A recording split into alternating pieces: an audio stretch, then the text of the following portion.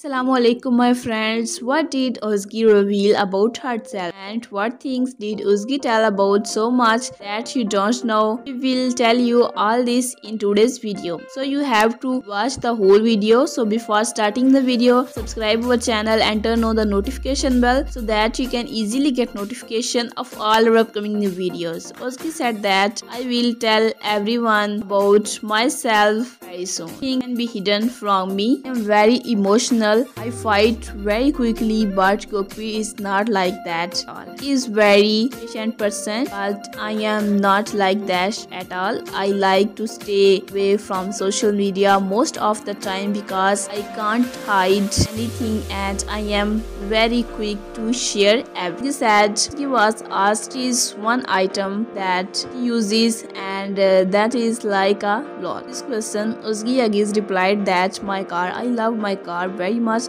I have many memories attached to it because of they are very dear of me. I have favorite song that I always listen to when I sit in my car.